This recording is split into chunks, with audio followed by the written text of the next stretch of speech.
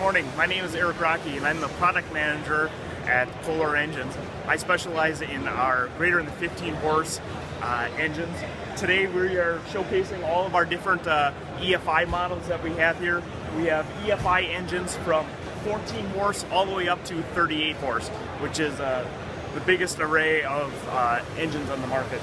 So some of the new engines that we got here um, are a Confidant EFI, uh, our 824 gasoline EFI, and our propane 824 uh, EFI. We also just released our new 999 horizontal uh, gasoline EFI engine